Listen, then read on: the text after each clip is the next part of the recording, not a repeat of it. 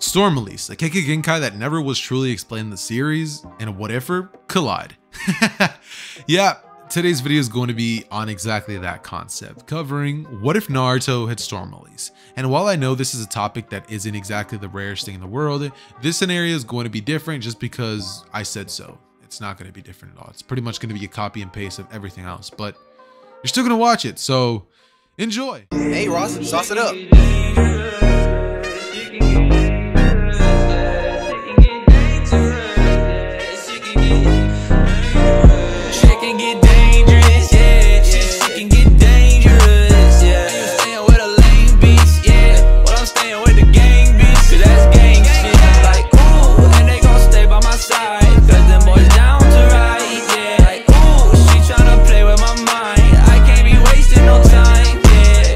We start a story with Naruto looking at some masks at a shop in the village. Naruto would be pushed away and have a mask thrown at him by, well, the shopkeeper. As he would ask him, Why, why did you do that? The shopkeeper would turn back to him and say, Get out of here, you demon! There's a mask, take it! It's tainted by your touch, anyways. As Naruto would look at him and say, Why, why did you do that? I, I didn't do anything. And the mask keeper would tell him to get out of here as he would hold the broom up and tell him that if he doesn't leave willingly, he'll have to force him to. And as Naruto would sit there, he would simply start getting up as he would dust himself off and he would begin walking away, but he would notice the same thing that's been happening all too often. Everybody would give him that same stare. Everybody would look at him in that way. And Naruto would look at the villagers as he would say, Stop looking at me like that. I'm not a monster. I haven't done anything. But the villagers would simply say, He's a demon. They would begin muttering, and some of them would say that he's unwanted. As a couple of the villagers, looking at Naruto, a little kid would actually pick up a rock and say, You killed my mommy! As he would throw it at Naruto, and Naruto would be none the wiser, seeing as there's a bunch of like muttering going on.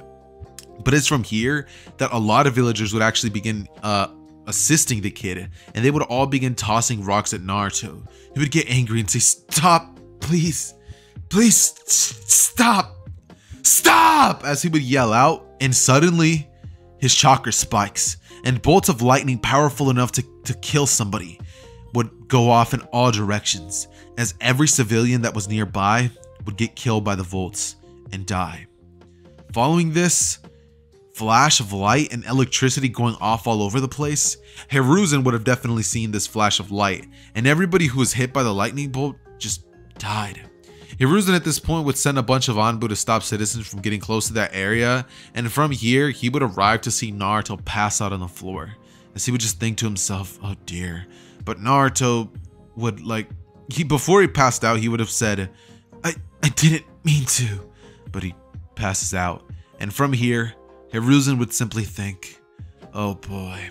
As from here, he would take the young Naruto off, where from here, he would take him into his office, and he would then make a request for one of his finest shinobis to arrive, Kakashi Hatake.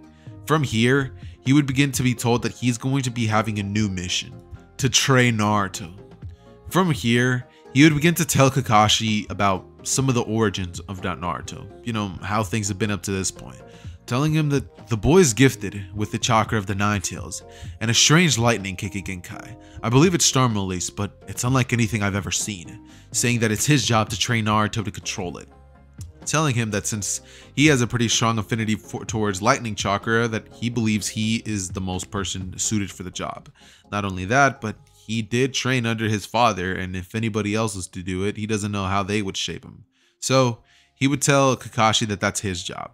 And he would then proceed to tell him about Naruto's childhood, about how, as a baby, he showed signs about having incredible power, but never something like this. He wants to keep what happened today secret, and Kakashi would nod, as an unconscious Naruto in the office would wake up years later at the door to the Genin Academy, ready to join Team 7. During the time that, you know, uh, Hiruzen would have told Kakashi about what happened. Basically, Naruto in this version just doesn't have whiskers, and the only other little change to the story is that he would have displayed these lightning abilities when he was a baby. Because when people would hold them, their hair would like randomly, like with static shock, just rise, and it would get like super spiky at the top. But that was really all that would have ever happened. Every now and then he would have shocked Naruto when he tried to play with him, but that was it.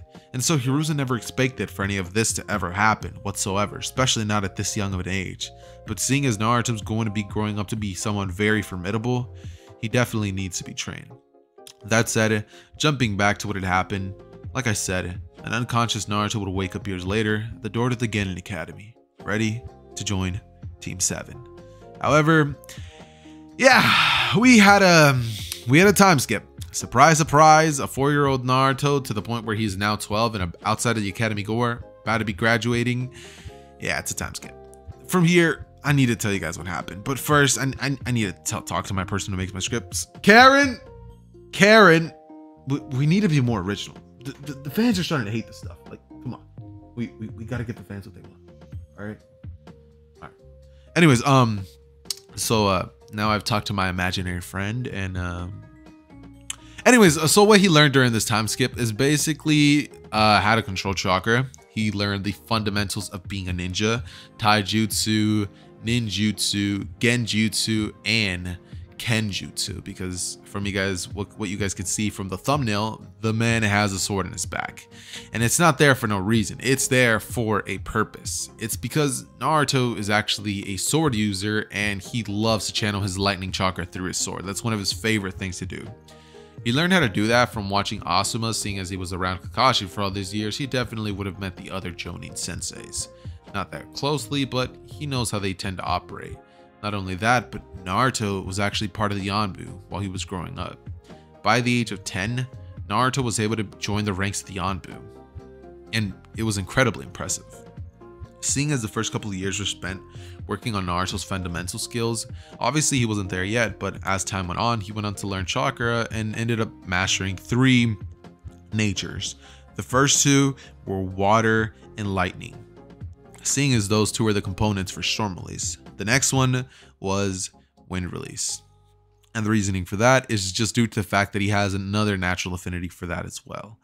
And one that he is currently working on at the moment is Earth Release, but that one is actually a little more trickier for Naruto. However, he is able to weave about three jutsus of that nature, so he's getting somewhere.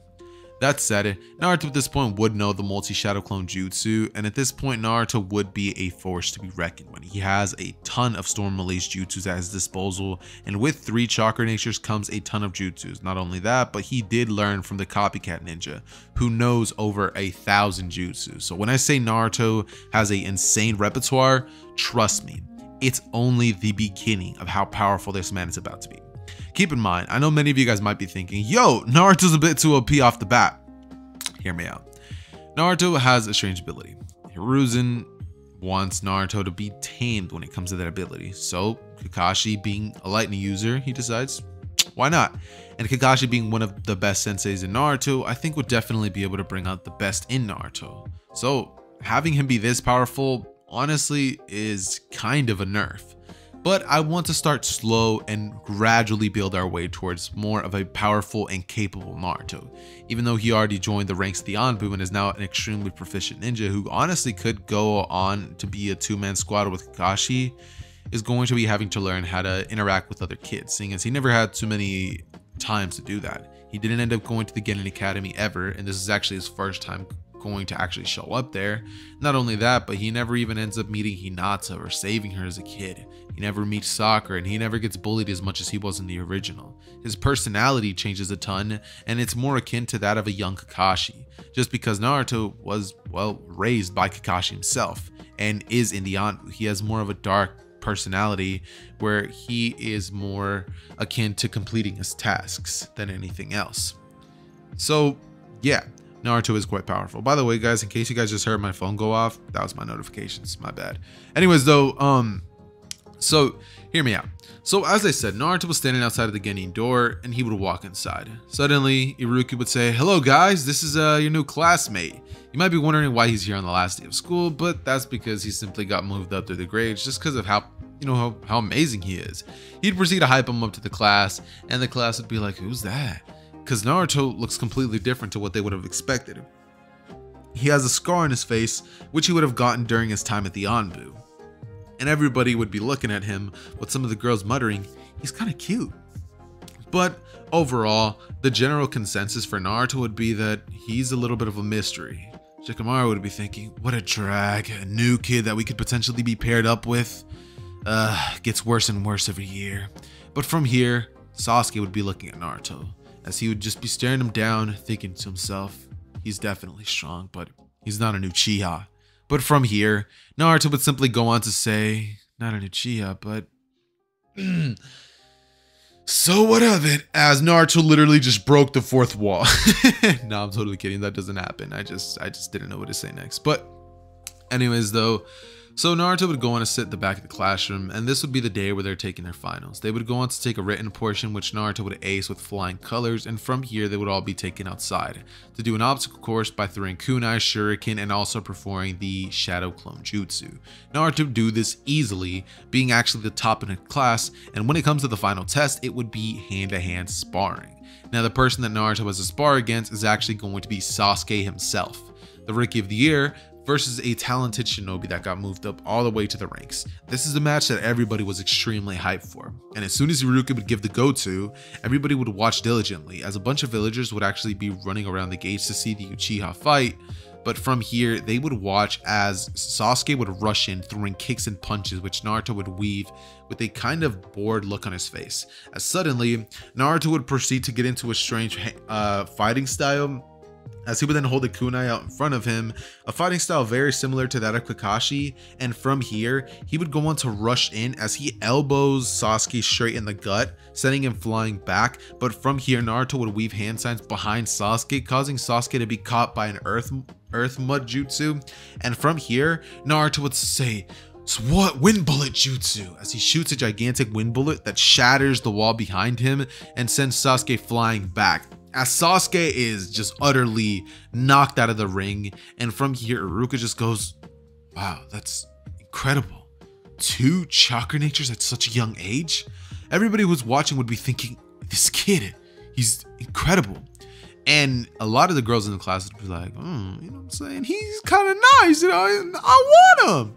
But Naruto would not pay no mind to this. And from here, he would proceed to say, so is that it? And Iruka would nod telling him that he passed, saying that tomorrow they'll all be told what team they're on and to come early, early, early. And so everybody would do so. The following day, everybody would be assigned their teams, and just like usual, Naruto would be on team 7 with Sakura and Sasuke on the team. Sasuke because, well, he's an Uchiha and he has a Sharingan, and Sakura just to kind of even things out, seeing as she is smart, but she's weak. So that's that. That said, however, three hours would go by and Naruto would already be expecting this, knowing that Kakashi, he's always late. But from here, he would finally arrive three hours later, as Naruto would simply just be doing image training in his mind, as you know, he's just passed out on the desk, just no cares in the world. With Sakura, she tried to talk to him at first, but Naruto just kind of pushed her away, being like, yeah, you can stay over there. I don't want to talk to you. But like I said, Kakashi would come in and pretty much inform the group to meet him outside, as they would, and from here he would ask them about their goals and aspirations. Sasuke's would remain the same, Sakura's would remain the same, and Naruto would simply go on to say that he wants to become a powerful shinobi and the greatest swordsman in the world. As from here, Kakashi would say, sounds about right. From here, he would proceed to tell the team to meet him at a certain spot tomorrow, and he would tell them not to eat anything and he would then look at Naruto and say, oh, and Naruto, I'm gonna make sure you don't eat anything, starting right now. Naruto would look at him and say, ah, okay. As from here, Kakashi would look at Sakura and Sasuke as those two are just confused. They're like, do you guys already know each other? Naruto would proceed to jump off the building, and from here, Kakashi would reveal that that was nothing but a shadow clone. As following this, what ended up actually going down is that Naruto would proceed to essentially um, meet up at the spot the very next day where the team would pretty much proceed to, um, how do I put this, wait for hours on end. Eventually, Kakashi would arrive, and when he does, he would inform the team that pretty much what they're going to be doing is trying to take bells from him. However, seeing as he's probably too powerful for them anyways and they won't get the bells, he has a new test they're going to be fighting against Naruto. N Naruto would be like, what? As Sasuke and Sakura would be like, we have to fight against him? Kakashi would then go on to explain that Naruto is pretty powerful in his own right. and that just because he's also a Genin, they shouldn't underestimate him, telling them that he has at least the strength of a low tier Jonin, if not uh like mid tier Jonin. As they would both kind of like be like, what? He's that strong? But from here, Kakashi would toss the bells to Naruto, who would then proceed to body the squad for the next following hours. He would destroy them, not letting them get anywhere near the bell because Naruto doesn't understand the concept of holding back. Sakura and Sasuke would have both been hit by a couple of Naruto storm release jutsus. One in particular that caught Sasuke and Sakura both off guard was a kunai technique where he attached a string to kunais and threw a bunch causing them to get into a trap where if they touch the, the, the, the string, they get electrocuted. Sasuke tried cutting it with his kunai to kind of be smart or whatever, but as soon as he did that, the electricity current that Naruto had with his attached to the uh, string itself would pretty much cause it to just electrify Sasuke and cause his hair to be spoofy and spiky. As from here, Sakura would giggle with her hair also being up, and Kakashi would be like, So that's time. You guys didn't get the bells, but what was I expecting? You fought against Naruto. He sighs and then proceeds to tell them that, you know, they did decently well. And telling them that, I mean, I guess he can roll with the squad. But from here, he would proceed to say, Nah. By the way, when I when I say say, I mean like he's thinking this, not actually saying it. So he would just kind of look at the team before then saying, "You, you failed." He would then proceed to tie Sasuke and Sakura up to the pole, and Naruto would then go on to talk to Kakashi, telling him that he's not in the mood to try to go wait for another squad, telling them that their teamwork will be worked on for the following next two weeks that they'll work on D rank missions. He'll be sure of that. Kakashi would look at him, nod, as Naruto from this point forward would go on to explain Kakashi's rule, telling them that this exam was about teamwork. And seeing as they pretty much fought together that whole time while not destroying, displaying the, the biggest signs of teamwork in the world, they might have hope after all. And so, from here, for the following two weeks, as I said, Naruto would proceed to straighten the team out, telling them that they need to work together if they want to be a good squad, because no squad is complete unless they trust each other and have teamwork. However, one thing that Naruto would notice is that Sasuke is bittersweet about the whole thing. He feels inferior to Naruto, but Naruto would go over to Sasuke telling him that there's no reason he should compare himself to him, that he's been in the Anbu since he was 10 years old he has at least eight years of experience over Sasuke, if not more, considering who he trained with. And so from here, Sasuke would be like, You trained with Kakashi sensei for this long? With Naruto saying, What do you think I've been? The name's Naruto Uzumaki. You don't remember that name? You don't uh, associate it with the Demon Fox, the Jinchuriki, that kid that nobody liked? And Sasuke would then have a flashback thinking back to when he saw Naruto once as a kid and thought, That's you? But from here, Naruto would dispel his shadow clone as all the information would go back to him and he would have been at home, passed out the entire day. Following these events, Naruto would proceed to go on, as I said, the two weeks, and then eventually the Tazuna mission would be briefed with Team 7. Now, once the Tazuna mission does end up arriving, I think that a reasonable thing to have happen here is that the squad pretty much gets down down talked to by Tazuna just like usual, and eventually the only change that would happen would be the Demon Brothers. Now, when they both rush in at their direction, Naruto and Kashi would act like completely badass ninjas, and Sasuke and Sakura both watching this would look at the example that Naruto and Kakashi just displayed. Perfect teamwork. From here, they would go on to walk for a couple more hours with Sasuke and Sakura no, no clueless as to, you know, the, the aspect of how dangerous this mission truly is, but Naruto and Kakashi knowing exactly what they got into. However, this isn't something they both can't handle, so Kakashi doesn't go on to press Tazuna about this, simply deciding that he'll ask him about it once they arrive to the land of waves. That said, about two hours from then, a thick mist would arrive, and from here, a gigantic sword would have come flying at them, as Kakashi would tell the entire squad to dodge, and from here, we would see Piccolo throwing Gohan into a mountain, yelling, Dodge! As, I'm sorry, I had to throw that Team 4 Star reference in there. But anyways though, what would end up realistically happening is Zabuza would land on the sword and he would then go on to tell Kakashi that he wants to fight him, that he's heard many stories about him, and then looking towards the direction of Naruto as he would say, So, you're with Naruto as well. Seems I'll have my hand, hands full this time around. Zabuza would then go on to say, Haku, come out. As from here, Haku would reveal himself from the bushes as he stops, uh, you know, cloaking himself with his aura, and he appears right next to Zabuza on top of his sword as well. As Zabuza would say, this might be interesting.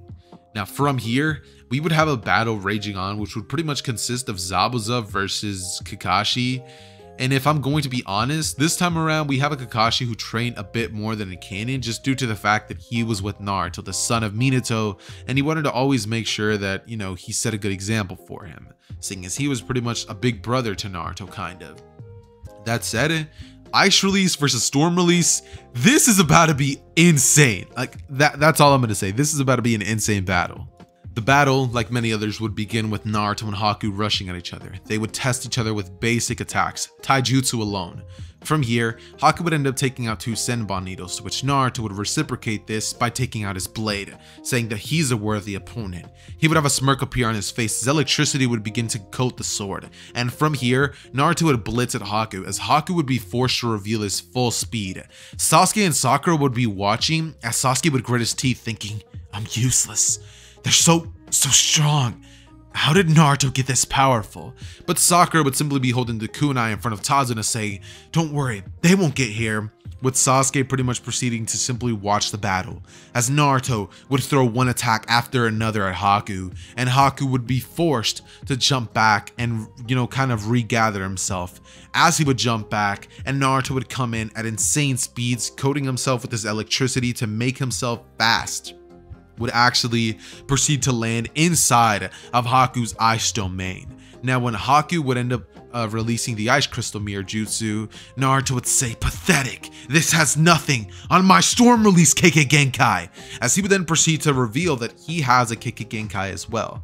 Haku just thought that it was normal lightning release, but now, the lightning would have turned a strange white color. And from here, Naruto would have gone on to pretty much let his electricity go wild, as it destroys and shatters Haku's ice mirrors.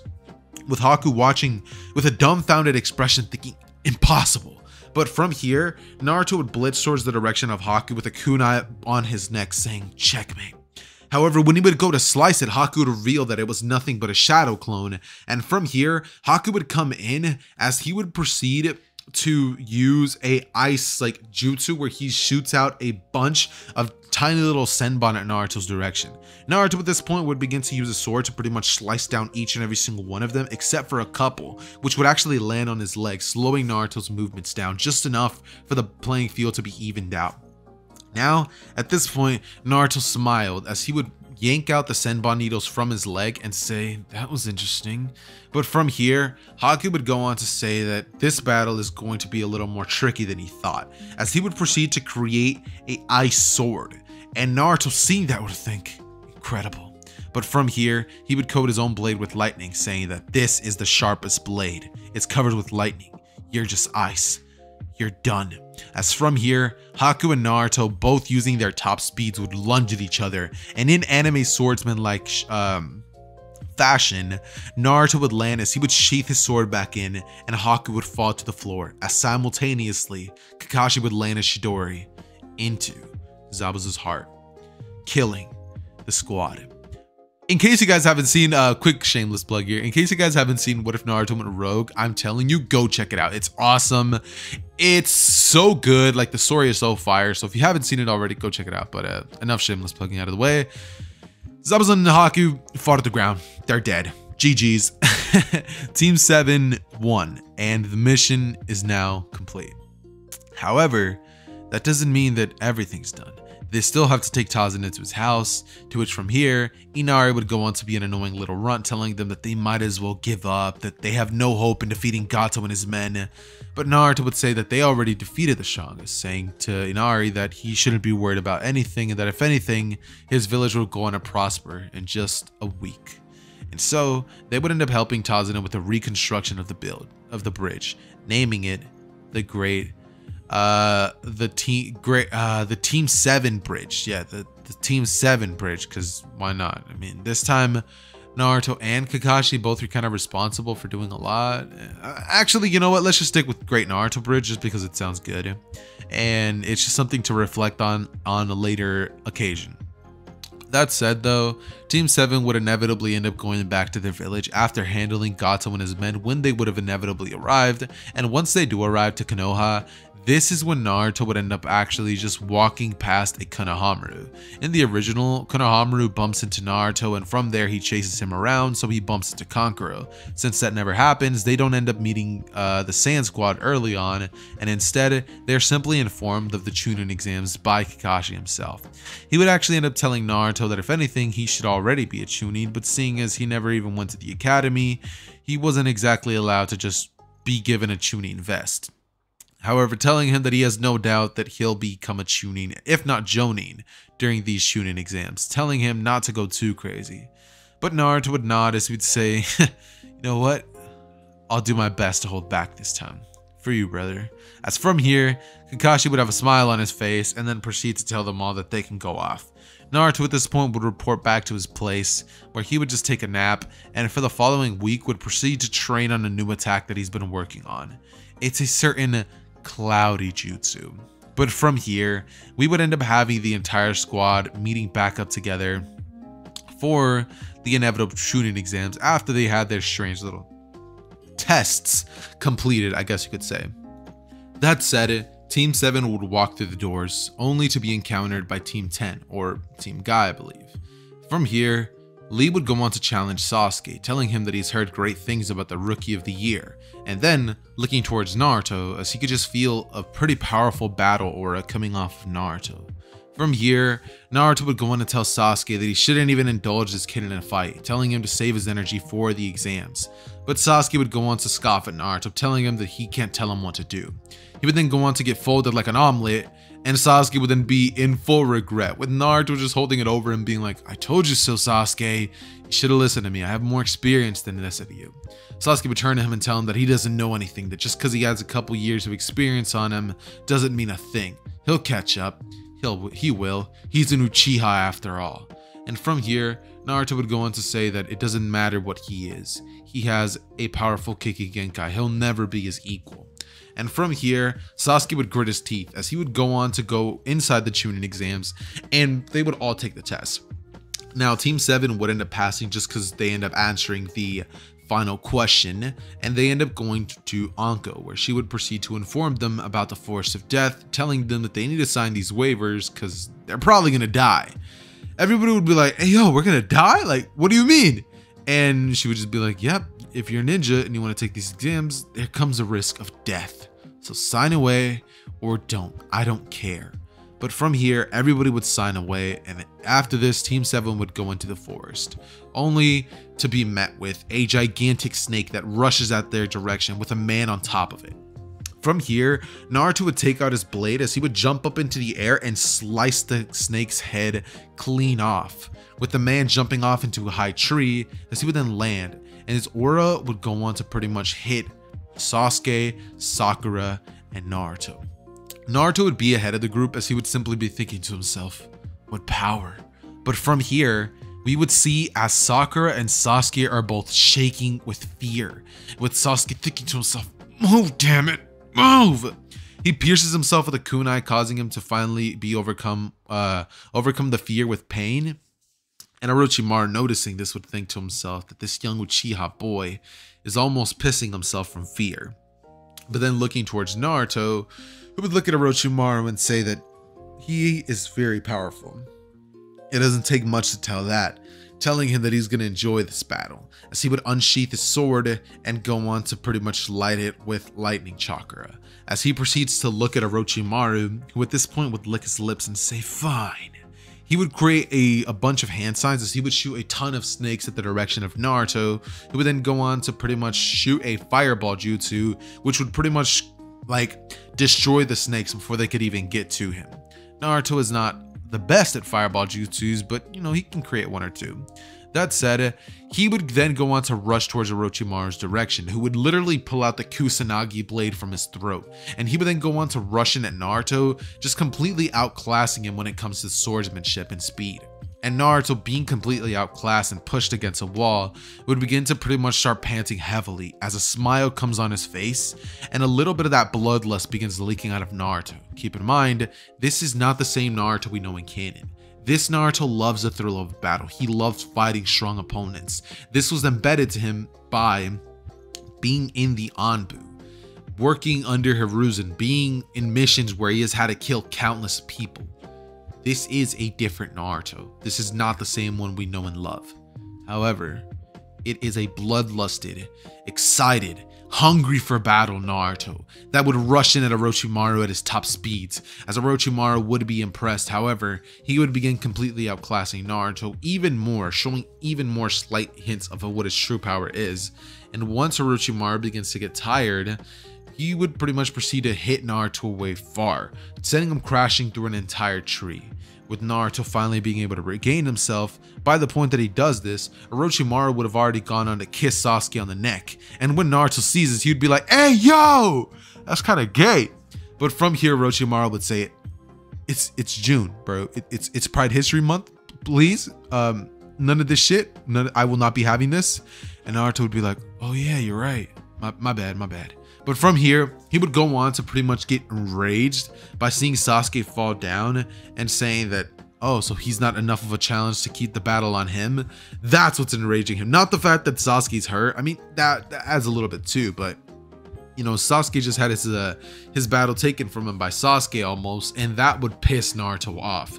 He would end up activating his one tail state of case of his uh, chakra mode, and from here he would rush in at Orochimaru at unparalleled speeds to what he had before.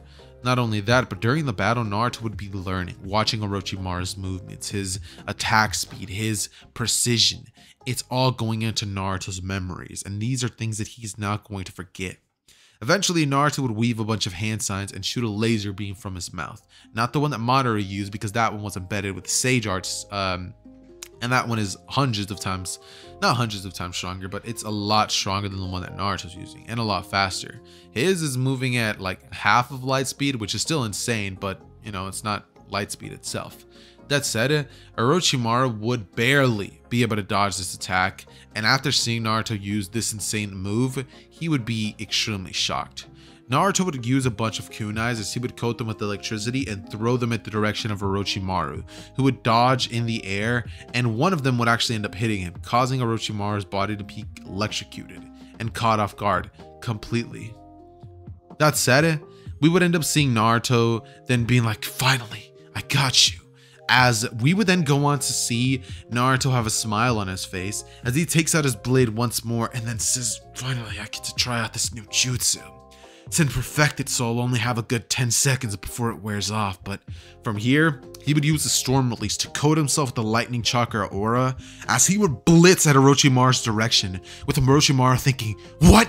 as before he could even blink, Naruto would have cut his head clean off and Orochimaru would fall on the ground. As Sasuke would be watching this with Sakura nearby him and Naruto would then fall onto one knee as he holds himself up with his blade and says, ah, did it. He passes out and um, you know, Sakura would then be forced to grab Naruto and Sasuke and pretty much mend them. This would pretty much lead to almost what would have happened in canon, except this time when Naruto and Sasuke wake up, Naruto was able to stop Sasuke and not Sakura. He tells him that he needs to calm down, and Sasuke would look at Naruto before then wanting to fight him, but Naruto telling him that this isn't the time and place.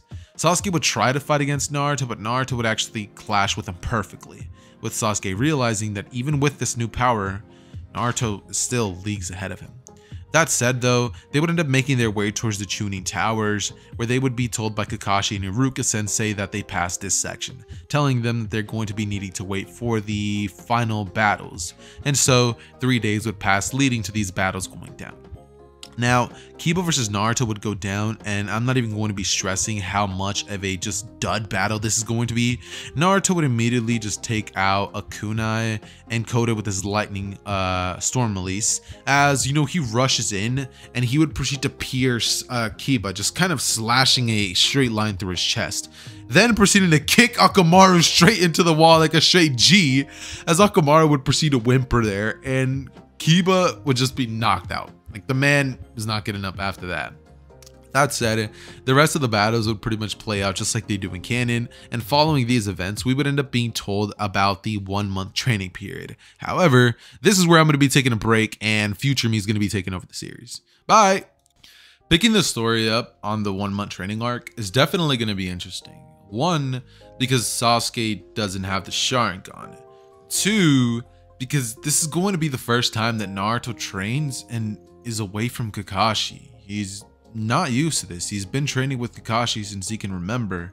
And so when Kakashi would end up informing Naruto that he's going to be taking this one month to train Sasuke to unlock his Sharingan and also to teach him a jutsu, this would actually shock Naruto. Quite a lot actually. And so, yeah, Sasuke would end up actually going off to train with Kakashi in order to learn the Sharingan with Kakashi telling Naruto that he's confident Naruto could get solid gains on his own during that one month.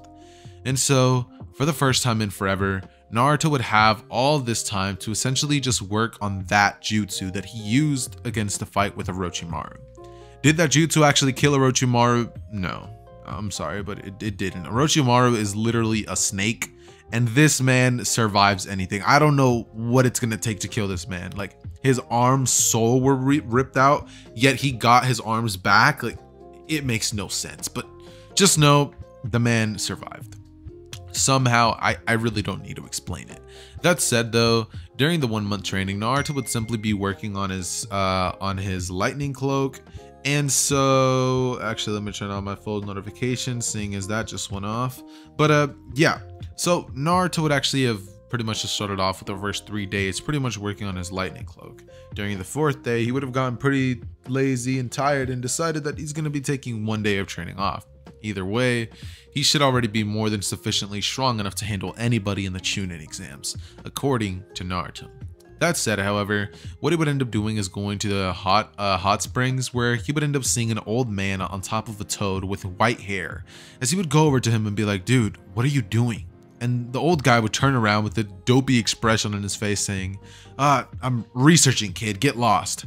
But Naruto would look at him and say that he's not gonna go anywhere, that he should stop peeping on those girls. As the girls would look towards Jiraiya and be like, oh my god, you know, they cover themselves up and Jiraiya runs off. From here, Naruto would appear right behind Jiraiya as he taps his shoulder and Jiraiya's like, how'd would you get there, kid? But Naruto would simply just be like, I followed you, dude. I used the body flicker. Anyways, what were you doing creeping on those girls? And Jiraiya would say, I wasn't creeping, I was researching. He pulls out his Makeout Tactics series book and he's like, wait, you're the author? From here, Naruto would say, I've read all your books! And Jiraiya would say, wait, kid, aren't you like, like 12? And Naruto would say, yeah, but I mean, I, I snuck a couple of Kakashi's books every now and then. And Jiraiya would just kind of like have a smile on his face saying, well, I appreciate that kid won my autograph. Naruto would say that that's not, that, that definitely, I was about to say that's not necessary, but I don't think that's the truth. Let's be honest. Naruto is more of a serious person, but Kakashi is still Kakashi and he still likes to read his, uh, his hentai books so Naruto, wanting to know what those were, at one point reads one of the books, and he's a guy, he's a boy with a, a high amount of, you know, SCX drive. You know what I mean? So he likes what he sees.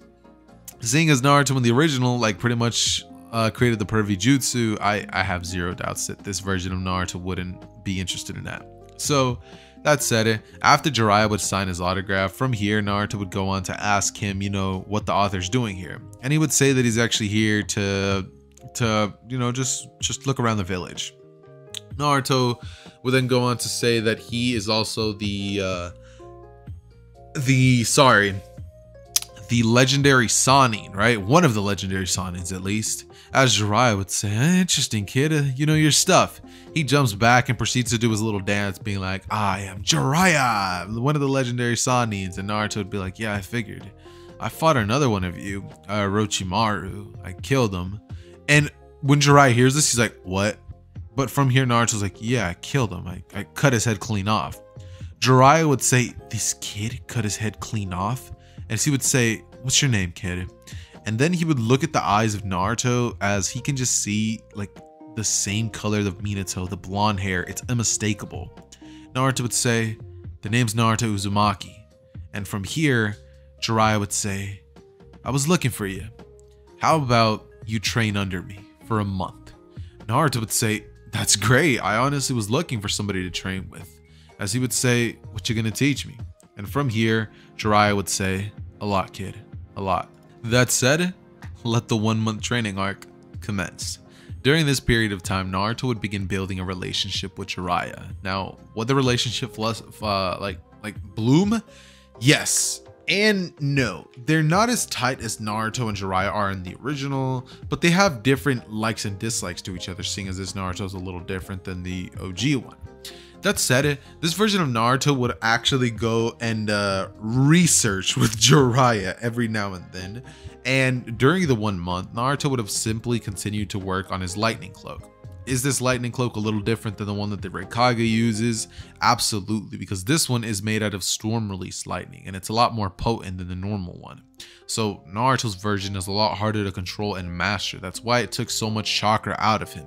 It's a jutsu that requires a massive amount of chakra to use when you don't know how to. However, once Naruto was able to master the technique, it will require a much less amount of chakra to use. So that's what Naruto is going to be working on. That said, he would also end up learning the Rasengan in a matter of one week, and when it comes to the Nine Tails, he would actually train with Jiraiya to actually be able to perfectly use one full tail of the chakra from Kurama. That said, during this time, he would have also ended up learning the Toad Summoning Jutsu, and honestly, you would have had a blast training with Jiraiya. Naruto never knew anything but training with Kakashi, and switching that up was a good pace. During this time, Sasuke would have learned how to use about two bursts of the Chidori and also would have ended up unlocking the one to state of the Sharingan. So that's something. His fighting prowess is not nearly what it was in the original, seeing as this Sasuke is heavily held back by the fact that he didn't unlock the Sharingan early. And yes, I know Sasuke technically unlocks it against Itachi when he sees him kill his clan, but he never was able to use it again until he fought against Haku, which is why I say he doesn't unlock it. That said though, the month training arc would be over and Naruto wouldn't have quite mastered the lightning cloak technique, but now he's able to use a comfortable 20 seconds of it. After it runs out completely and the man is just like absorbed of chakra. So if he was to use like 10, 10 seconds of it, then um, it'll be a lot more productive, I guess you could say. That said, what would end up happening from here is that everybody would pretty much end up meeting up in the uh, Chunin exams tower place, the arena, I guess you could say. And Naruto's first battle would be against none other than Neji Hyuga. The way that I see this battle going is essentially Naruto and Neji meeting up in the middle, with Neji spouting a bunch of nonsense talking about he's gonna win and he's destined to become a, uh, get a Chunin, but Naruto simply being like blah blah blah blah blah Gosh, you're annoying.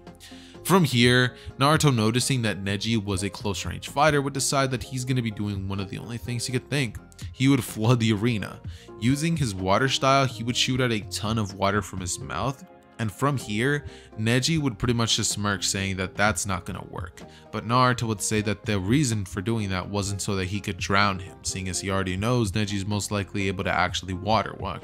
The reason for that was this. He would stomp his foot down as Storm Release would charge from his both hands as he begins to charge it through himself and then his entire body would charge it all the way to the bottom of his feet as it would spread through the water and Neji would be forced to jump onto the walls.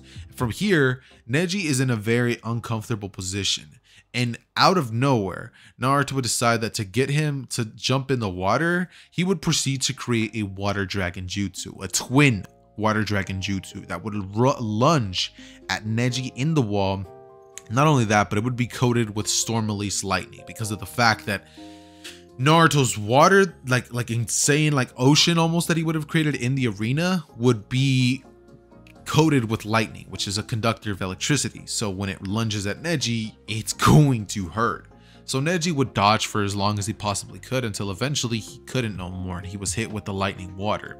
From here, Neji was caught off guard just long enough for Naruto to blitz at him, use a Rasengan and knock Neji clean out, winning the first battle. The next one would then be Sasuke versus Gaara, and I don't see this changing whatsoever. The only real change is that I think they're going to be a little more late than the original, but that's pretty much it. That said, however, what I see end up ending up happening is Gaara, of course, still running into the forest and Naruto chasing after him because he just knows that he's gonna be needing some help. Everything in terms of the uh, village would pretty much remain the same, and when it comes to Naruto catching up to Sasuke, this would happen a lot faster than in the original because this version of Naruto is ex an expert in reconnaissance missions and things of that sort. So, not exactly too complicated for this version of Naruto. That said, when he would end up encountering Temari, she would end up telling him that he's not going to be going nowhere, but Naruto would tell her that he has no time for this, as he charges a huge amount of lightning concentrated in his hand, and he would aim out five fingers to just shoot bolts of electricity that begin to chase Temari no matter where she goes. She would throw her fan attack at Naruto, which would actually cause the lightning to not do anything. The lightning still rushes at Temari. Boys, did you guys hear my dog barking in the background? My bad, but uh, I'm not changing that or re-recording any of this, so deal with it. Anyways, though, um, seeing as I already was interrupted, I feel like this is a good spot to tell you guys about something new to the channel. Seeing as most of you guys don't really watch these videos and you guys mostly watch them as audiobooks, I don't really see any reason to edit this portion, so I'm just going to be keeping it in the video. That said, as of lately, I am now going to be making a members join button. Now, it's pretty stereotypical. You're not really going to be getting the most insane things in the world. You're just going to be getting early access to videos if you join, and you're also going to be getting, um, what's it called, like priority reply to your comments. That's really it for the first level. It starts at $10 and you get early access to the videos. Like, you know how I also always schedule my stuff and it comes out like two days or one day later? You can get the video that same moment if you just check the members only perks. That said, if you join the second tier, I honestly forgot what the perks are, but I mean, I, me personally, that perk is just there in case you have a lot of money and you have nothing to spend it on and you want to give it to your boy, then uh, go ahead. But if you don't have a lot, you don't have to. Just keep watching the videos, keep liking the content, subscribe to the channel, turn on the post notifications if that's all you can do, and I'll appreciate you nonetheless. That said, it, let's get back into the amazing what if. So Naruto would have uh, inevitably ended up running into Sasuke and Gaara. Now Sasuke, at the moment that Naruto arrives, would be held up in the air by Gaara as he's choking Sasuke, who already used both of his Chidori attempts and is pretty much about to die. However, Naruto would come in as he slices off Gaara's hand, clean off, and Gaara would look at him with anger in his eyes as he says, You, I must kill you. But Naruto, seeing that Gaara is using a tailed beast transformation, would think, how about I even out the, the, the, the stakes? As from here, he proceeds to close and open his eyes, revealing KCM. No, no, no, no, no, not KCM, but uh, the first tailed stage of the nine tails. KCM. Imagine Naruto part one KCM already. That'd be insane. That'd be a that'd be monstrous. Could you imagine like you're you're Gaara and then you just see Naruto bust out KCM in front of you? I'd be terrified. Anyways, though, so Naruto, as soon as he activates his one-tailed state, would rush in at Gaara's direction and using his abilities of using his sword and using a bunch of lightning release attacks would shoot at Gaara. But I'm honestly not sure if lightning would really work too much on sand. Let me look it up real quick. Alright, I looked it up and you will all be happy to know that every time Naruto's gonna be hitting Gaara with his lightning storm release attacks, they're literally going to be making, it's literally just going to be making the glass no, not the glass, but the sand almost like glass, like a rock-like substance that just kind of like keeps Gaara from using it. But seeing as like the entire world is pretty much made of sand, it's not that much of a handicap. But Gaara is not really used to this, so this does come as a bit of a surprise. However, once Gaara proceeds to get a little too cocky, Naruto decides that it's about time that he whips out one of his jutsus that he doesn't use too often he would end up formulating a cloud in the sky, one that Gaara would not notice, and from that cloud, a bunch of electricity would begin building up within itself, as eventually, Naruto would lure Gaara into the perfect spot for the lightning bolt to just come down and strike Gaara. Not exactly like Kirin, a lot weaker, but it pretty much has the same effect in, you know, the way that it's used. That said though, the lightning bolt striking at Gaara would be extremely effective and Naruto would be the victor. Afterwards, Naruto would kind of talk no jutsu Gaara, forcing him to change his attitude, and from here would throw Sasuke in his back as he would say that Sasuke caused a lot more trouble than he was worth. As from here, Sasuke is taken to the uh, the medical ninjas and he is then promptly healed. So, following this, I think that a good thing to do would pretty much be addressing Jiraiya and Naruto going off to meet Tsunade. And seeing as nothing really changes until we finally end up getting to the point where Itachi and Kisame bust down the door and are like, Naruto, come with us. I'm just going to be picking off there.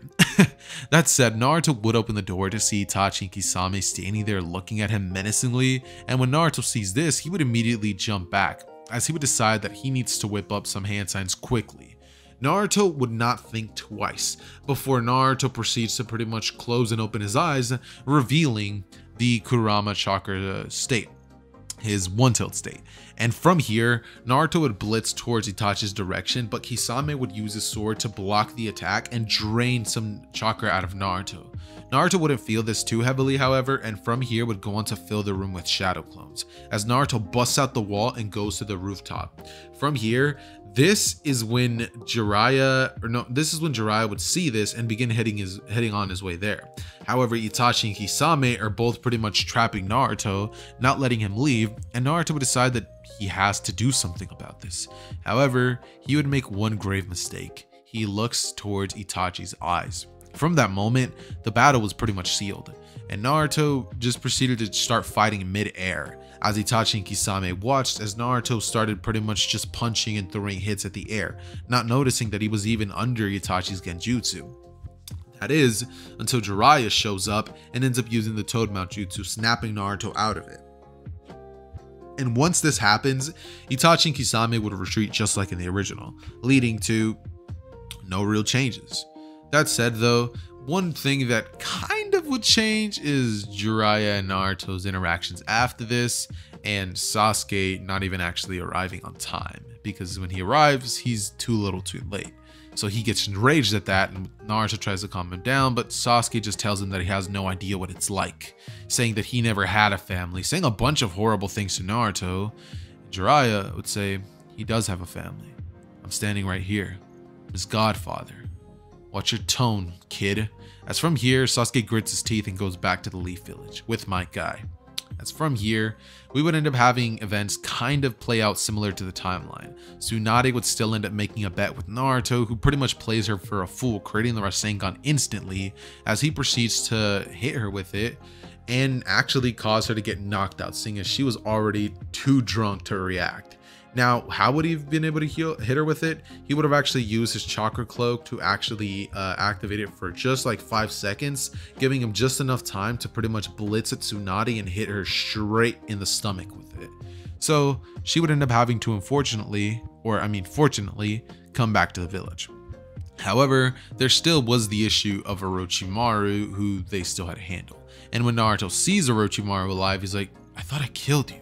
But Jiraiya would say that he uh, he doubted that he would have anyways, seeing as Orochimaru always seems to escape death in one way, shape, or form. And so Orochimaru proceeds to kind of get bodied by Tsunade uh, and Jiraiya after she gets over her blood uh, curdling uh, depression thing or whatever, and Naruto would in- inevitably end up defeating Kabuto. I know Tsunade had a hard time fighting against Kabuto, but this version of Naruto was too fast for Kabuto to react. I mean, let's be honest. He has the first tail and the chakra state that he can fall back on. Not only that, but he has the experience to back up the combat when it comes to Kabuto. And so I believe the battle would go something like this. Kabuto at first would begin to actually hit Naruto, land a couple of blows on him. But once Naruto realizes that this is not the time to be playing any games, he goes into serious mode and promptly proceeds to defeat Kabuto, soloing the man and jumping in to actually help Tsunade and Jiraiya fight against Orochimaru, who at this point doesn't have his arms and is forced to retreat with Orochi with uh, Kabuto. Following this, we end up having Tsunade, Jiraiya, and Nar to return to the village, with Tsunade being crowned the fifth Hokage. And after this, I think that one good thing that could happen is, uh, let me think, let me think, let me think. Um, Actually, nothing could happen. Sasuke still ends up leaving with the Sound 4, and the team is still assembled. So, uh, Sasuke, you're getting in the way a little bit. That said, this whole entire thing would pretty much go the same all the way until when Naruto ends up having to fight against Kimimaro. And for me to cover this battle in its proper form, I'm going to be needing to put on some uh, nice, nice music. Now, you guys won't be able to hear it, but I will. So I'm gonna pause the video real quick. All right, I'm back. Naruto versus Kimimaro. Let's get into it. The battle would commence with Kimimaro looking towards Naruto, pointing one of his bones at his direction, with Naruto saying that he needs to get past him and that he's not worth his time. However, Kimimaro would shoot bones straight out of his hands as they would go past Naruto and almost hit him square in the face. Naruto would turn to him with an angry expression saying, How dare you? As from here, he would go in to take his sword out and say that he doesn't have time to waste. He's made it this far and he needs to bring his teammate back to the village so that he doesn't end up going towards that path that Orochimaru chose. He's heard all about his tactics with Jiraiya and he's not about to let his buddy go into the darkness. And so from here, he would turn towards Kimimaro as he would say, You're going down one way or another. As from here, Kimimaro would proceed to get into his fighting stance and Naruto would rush in trying to use taijutsu against Kimimaro. However, he would quickly come to realize that that's not going to be working. And so eventually he would end up having to take his sword out and then proceed to actually fight Kimimaro in that way. Kimimaro would actually take out his bones, and using that, he would actually pretty much try to fight Naruto as if he had swords, I guess you could say. So when this ends up happening, Naruto was able to act actually have a amazing battle. Kimimaro, even though he is sick, he's holding up in like incredibly. And Naruto was actually having one of the greatest battles of his life. He's having a thrill. It's almost even. Eventually, Kimimaro would decide that it's enough playing games and he would activate his curse mark state as he would begin to use more and more of his blood Kekkei Genkai, no not blood Kekkei Genkai, but bone Kekkei Genkai abilities. And Naruto seeing this would end up deciding that it's about time that he revealed his own Kekkei Genkai. He would begin using his own attacks to try to counter against Kimimaro and Eventually, he would create a cloud in the sky that would be charging up one final attack in case all goes wrong. Not only that, but he would be shooting lightning beams from his hands, just small ones that are meant to just zap Kimimaro and pretty much throw him off guard. And he would also try using a beam of lightning that he would shoot out of his mouth that Kimimaro would dodge and kick Naruto into the air, as he would then jump in there and begin to hit Naruto back down to the ground. Naruto would have to roll out of the way as Kimimaro would come down with a bone crushing kick, and from here, Naruto would jump back into the air as he would dodge and dodge and dodge. 4. Kimimaro's attacks. Kimimaro, after this will then be kicked by Naruto as it's revealed that Naruto's eyes just turned red, and from here, the battle would begin to be more evened out, as Kimimaro and Naruto were going at it blow for blow for blow, each one of them not giving up a single bit of ground to the other. Eventually, Naruto would decide that he, this is enough games. He would create a bunch of shadow clones to distract Kimimaro as Kimimaro ends up using his giant bone um, domain thing that he used in the original and he would destroy all of them, leading to Kimimaro actually getting ready to perform his final attack. Naruto would decide that he deserves his strongest and he would end up activating his lightning cloak just for two seconds, briefly wanting to get actually five seconds. Let's be let's be more honest. Naruto would end up charging up his final attack and holding his sword at the exact position to just slice at him like he did to Orochimaru. However, before he could even do so, Kimimaro would fall to the ground, dead and Naruto would hold his hand up into the air as the cloud of chakra that was up in the air would be sucked back into his palm, and Naruto would sheath his sword back into its spot as he would then deactivate his chakra cloak and say, You are one worthy opponent. I hope you rest well. As he would then run off towards the direction of Sasuke and yell, Sasuke! As from here, Sasuke would turn and say, Naruto. He would say, Get out of my way. And Naruto would look towards Sasuke as he would say, What are you talking about, Sasuke? You gotta come back to the village. This isn't you. Come on. Grabbing him by the arm as Sasuke would kick Naruto and then punch him straight in the jaw with an uppercut. As Naruto was sent back and wipes the blood off of his mouth, saying, So it's like that. Alright. I'm not playing Sasuke. You're coming back to the village with me consciously or in a body bag. It's one or the other, Sasuke. There's not a choice. So you pick now. If you get into a fighting stance, I'm gonna bring you back in a body bag. Sasuke would then go on to seal his face. As from here, we would have a scenario so similar to those videos that, that are like, what if Goku was super extra prepared, where Goku was just too powerful for the enemy that he faces, and that's kind of what happens here. Keep in mind, OG Naruto, who while was extremely powerful, was able to solo Sasuke. Almost until the end, when Naruto pretty much failed. But if he was able to do that then, then what does that mean for this version? Who actually has access to the first tail off rip and has access to the lightning cloak, has access to three chakra natures, has access to a bunch of fundamental skills that the original Naruto lacked. Exactly. He is able to utterly outclass Sasuke, bringing him back to the village against his will meaning Sasuke never actually ends up going towards Orochimaru, and instead uh, has to opt with training with Kakashi during these three years, while Naruto ends up going off to train with Jiraiya for the three-year time skip. And that would pretty much end up concluding the first part of Naruto. Naruto Shonen Jump? Or part one. Yeah, part one. It's called part one. Anyways, though, following this, the three-year time skip would happen. And after the three years time skip would happen, Naruto comes back to the village like a whole different person. His hair is way longer and he has it in sort of a bun position with his jacket being remodeled to being more of a purple and black one. From here, his blade that you know he used in the first part of Naruto would not be the one that's in the thumbnail. Like the purple one, that's not the one he was using. He was using a normal katana blade. However, now he actually ended up acquiring the purple hilt blade that was extremely powerful and actually has a special ability. He ended up getting it in the land of Whirlpool when he and Jiraiya would end up going over there to do a mission. And the blade actually has the innate ability to channel large amounts of lightning into it similar to the one that uh similar to the blade kiba that one of the legendary swordsmen uses except it looks different and it's a longer blade. And it's a single blade not dual wielder. That said naruto is now going to be a lot more powerful and yeah. That said though what i think would end up happening from here is naruto returns with a full mastery of at least at the very least five of Kurama's tails being accessible to him. Not only that, but the rest of the chakra natures, they got mastered within that time period.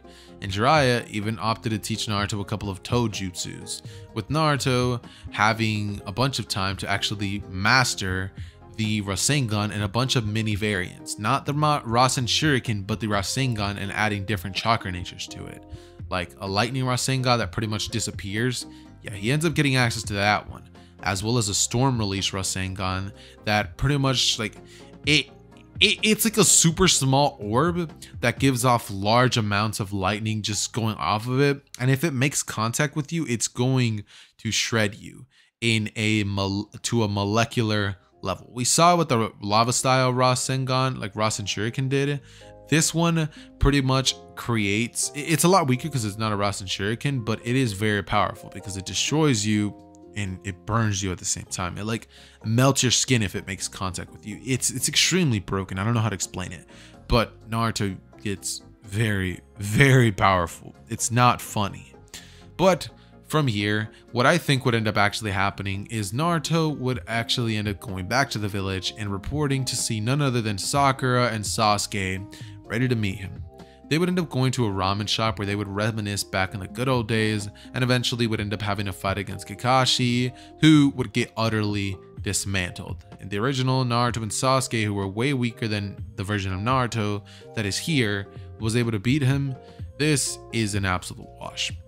So they would eventually be informed of the team uh, regarding retrieving Gaara, and all of the events kind of go the same until they would finally end up arriving to the cave, where this time around when Sakura faces against uh, Sasori, yeah, Sasori, they're able to do very, very decent against him. And when it comes to Naruto versus Deidara, it's not fun. It's not fun at all. Deidara actually has to fight against Naruto, who at this point is way more OP than the version of Sasuke who was able to defeat him. So the battle goes something like this. Naruto would shoot from his blade a long version of lightning that would just shoot Deidara down to the ground from his bird. And when Deidara would pretty much land, he would say, yo, that was uncashed money of you, bro. But from here, Deidara would proceed to pretty much shoot exploding bombs at Naruto's direction, which Naruto would dodge using a mud wall jutsu. As from here, he would shoot a gale palm attack wind, wind style at Deidara's direction, and Deidara would feel a small amount of wind pressure, like like beam at him, which causes his hair to be pretty much like blown back and his eyes to slightly wince, seeing as the wind was pretty powerful. However, Naruto comes rushing in and immediately whips out his blade, saying that he's an Akatsuki member and he's not going to be taking it easy on him reverse hand grip style and everything, as he would call storm release into his blade, and from here he would jump up into the air, just short of landing in front of Deidara, as he stabs his blade straight into the air, and from it shoots a giant lightning bolt, which would strike right onto Deidara's body, and it would immediately send Deidara into a state of like, like just shaking, as his body would pretty much start melting, like the skin would start melting off, and Deidara would just scream as he dies instantly.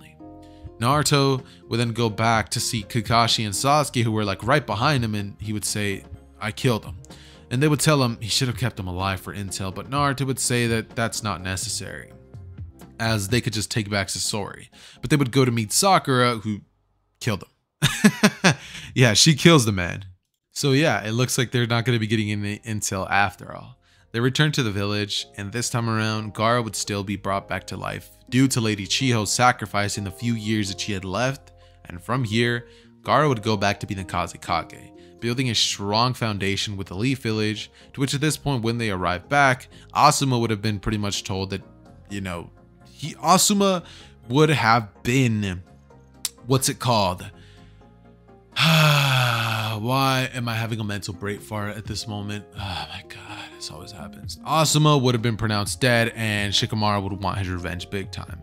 Jiraiya would end up saying that he wants to go off to fight the leader of the Akatsuki, but this time Naruto's not having any of it. He ends up going off with Jiraiya, and so he's not going to be present when it comes to the battle against uh, Hidan and Kakuzu. Instead, Sasuke is actually one of the people who goes off to actually help Shikamaru with the battle against the two Akatsuki members, seeing as he wanted to fight two of them. And so they handle that. But when they come back, Sasuke is greeted to a letter by a crow from Itachi telling him that their battle is going to be happening sooner than he expected. So Sasuke would get his things together, seeing as he needs to get ready for the final battle against his big brother Itachi. He would go off, and Naruto and Jiraiya would pretty much just be doing their mission, trying to sneakily enter the Rain Village. They would do so, and everything would be going smooth until eventually Pain would arrive in front of them with all six paths linked. And Konan would be flying above. Immediately, the battle would commence, and all of them would immediately begin to completely outclass Naruto and Jiraiya. However, we know that Naruto in the original was able to destroy them with nothing but a punch, so while they are very powerful, they're not very durable. And so that kind of evens out the battle. Naruto and Jiraiya at first would be overwhelmed by the power of the, you know, the Rinnegan, but eventually as soon as they begin to kind of figure out what it is, they would both begin to have a much easier time fighting against them. Six paths, they'll make it work. Two against two, two on three, they'll figure it out somehow. Naruto would be tasked with fighting against the Deva Path, and Jiraiya would have uh, I don't know, but I, I, don't know. Just just know Jiraiya has to fight against three paths and Naruto has to fight against two paths other than the Deva path. Konan is going to be a thing, but she's kind of something that they have to deal with later, I guess. Uh, I don't know. Okay, look, just just just know the battle goes down something like this. Jiraiya and Naruto both get back to back as they both pretty much end up getting to their full power mode.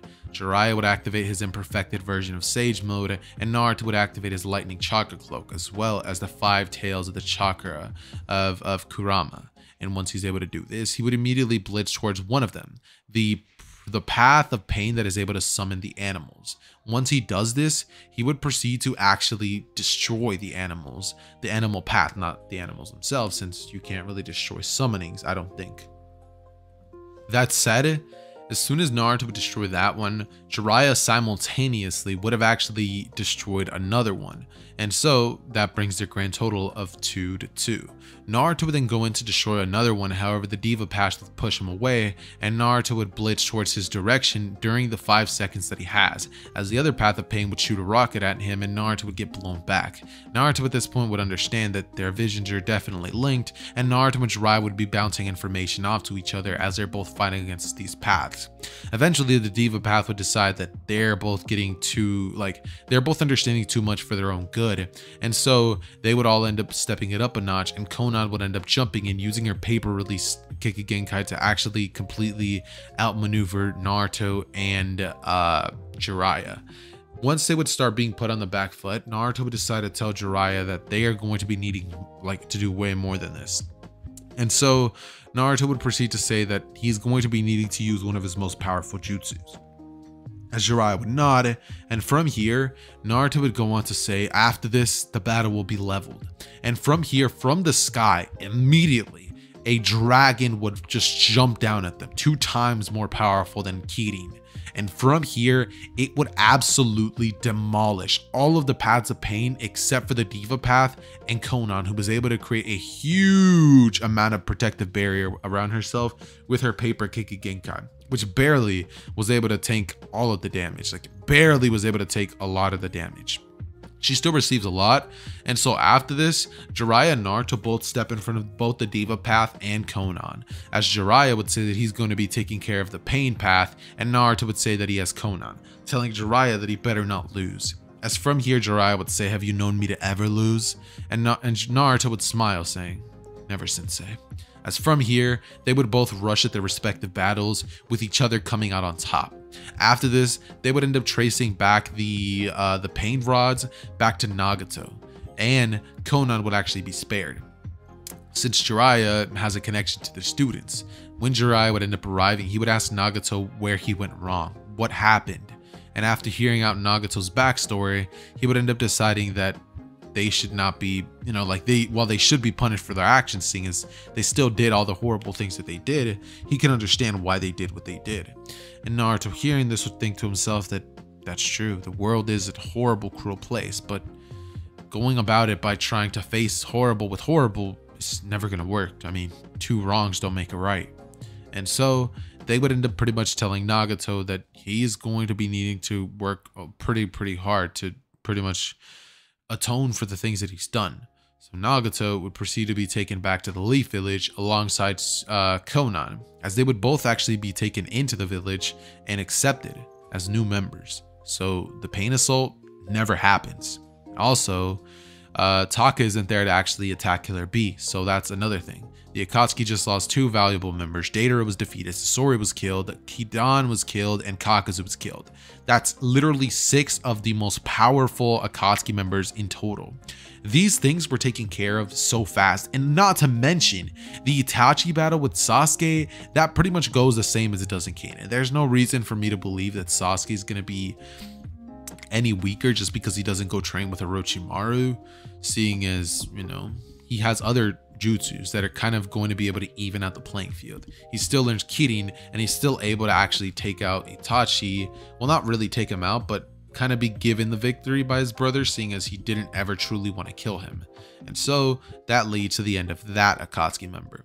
Once that happens, Obito would actually tell Sasuke about everything, and once Sasuke hears the truth, he ends up wanting to destroy Konoha. So I guess that kind of adds him to Obito's repertoire, but it's not going to be anywhere near enough. Sasuke wants to go and destroy the Hidden Leaf Village, but with Nagato and Konan there, and Tsunade, one of the greatest medical ninjutsu people ever, would actually be there to try to heal Nagato's illness. Do I think he's going to be fully healed? No, but I think he's at least going to be able to walk and, you know, kind of not be a, a, tool that can't do anything. Tsunade would definitely be able to get him out of that using Hashirama cells because that always seems to be the thing that uh, Kishimoto jumps to, so I'm going to be using that as a plot device to kind of heal Nagato somewhat.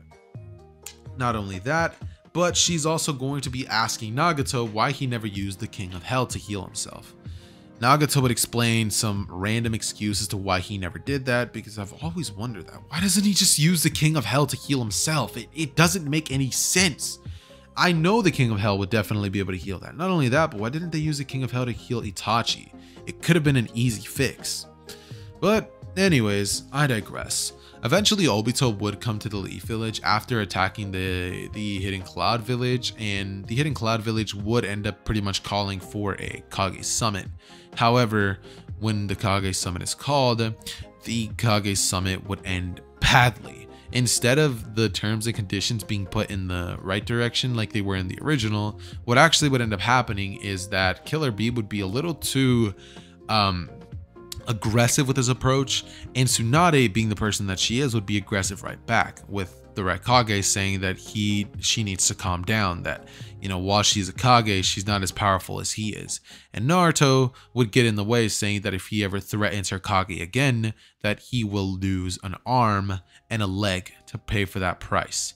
With Killer B saying that he needs to back up, and Naruto explaining to him that he is not going to tell him what to do he would activate his lightning cloak, and the third Raikage would do so as well as, no, the fourth Raikage, I think it is, as he would proceed to tell him that he needs to calm down. Tsunade would call Naruto off, and Naruto would tell him that he would have lost his life in that battle, flashing a hint of the Nine Tails energy at him, telling him that they will not be helping them in the search of his brother. By the way, I know I said that uh, Killer B was there, but I I'm gonna change in that and say that Darui was there. And when Darui sent Storm Release from Naruto, he was like, that's impressive.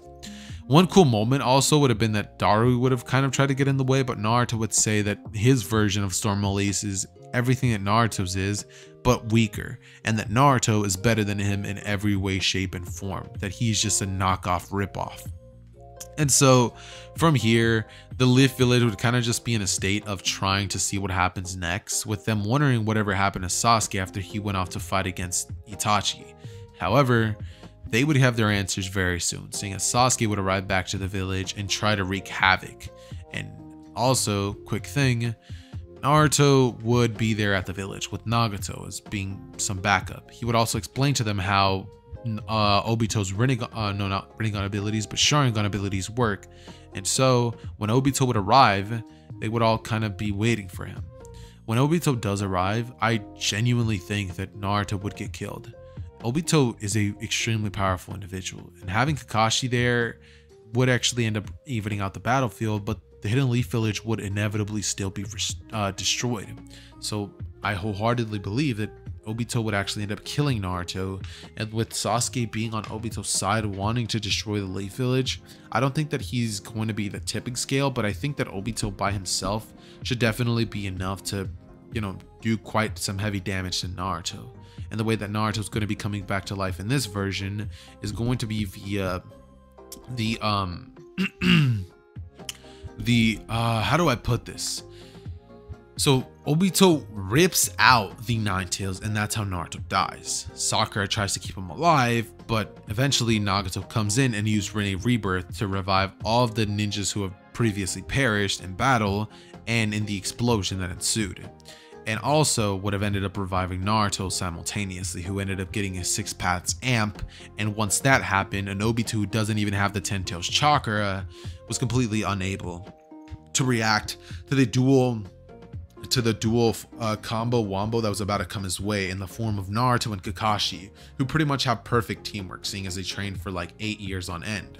Jiraiya and Naruto had some pretty good teamwork, and that was proven by their battle against Nagato.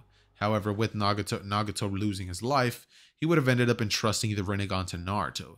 And when Naruto was given the Rinnegan, it was an absolutely busted matchup. Naruto using his abilities of Storm Release with now the Sage of Six Paths amp on it is able to perform insane amounts of feats. His lightning is as fast as light, light itself. And each one of his attacks packs so much like electricity to them that his lightning became black like his lightning became black and this was like his most powerful version of it. He was able to create weapons creatures. He was able to do so much with his storm release that it wasn't even funny. He would have essentially proceeded to create lightning binds around obito that he would actually shoot into the kamui dimension so that way uh, Obito was unable to teleport into it because Naruto would shoot a giant orb of storm release that would just shoot out clouds and clouds and clouds of lightning into it. So if Obito wanted to dodge attacks by using Kamui, every time he did that, he would just be getting hit by that attack. So Obito would be pushed back into a corner and inevitably be killed by Naruto, leading to him then having to sadly defeat Sasuke. And since this version of events would have Sasuke not exactly uh, being too open to listening, Naruto would just have to beat him into to a pulp to make uh, Sasuke listen to reason. And so Naruto would stand atop his destroyed village with everybody cheering his name. Naruto! Everybody's excited and the entire village just welcomes Naruto with open arms. That's all he ever wanted. Since that day where he accidentally killed a bunch of villagers, he has felt bad for that, and that has been one of the attributes to his change's personality. But now, he saved so many lives and he's one of the sole reasons why the Leaf Village survived. So Naruto's proud, and Naruto would then go on to be named the sixth Hokage.